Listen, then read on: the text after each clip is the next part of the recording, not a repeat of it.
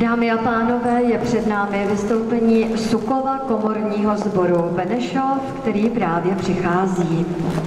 V současné době má 15 až 20 zpěvaček a absolvuje 6 až 8 koncertních vystoupení za rok. Zbormistriní je od roku 1995 Helena Sochová. Repertoár sboru tvoří nejen široké spektrum hudby duchovní a světské, ale důležitou součástí jsou i lidové písně v různých úpravách anebo spirituály.